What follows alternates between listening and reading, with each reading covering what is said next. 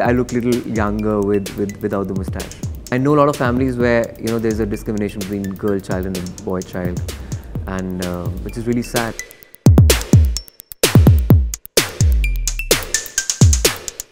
I think I've become more fearless now. Uh, now, after the success, like four back-to-back successes, 2017, 2018, I have the courage to take a script like Article 15, which is beyond the commercial aspirations. It is something, it's a different league altogether, that you do something as a social responsibility as an artist. So it's that film, it's a very special film, it's very close to my heart.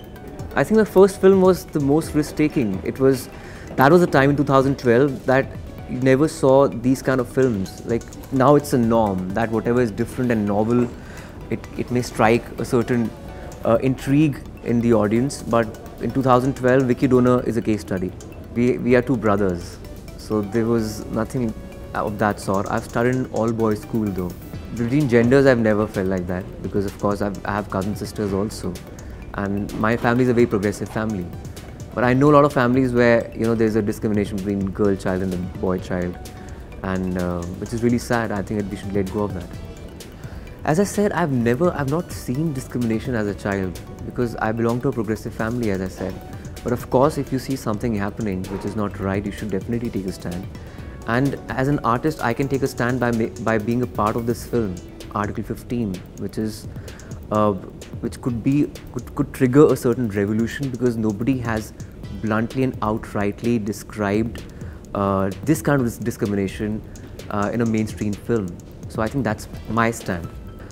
Of course, while playing a police officer, you have to have a certain poise in your body language, and that mustache gives you.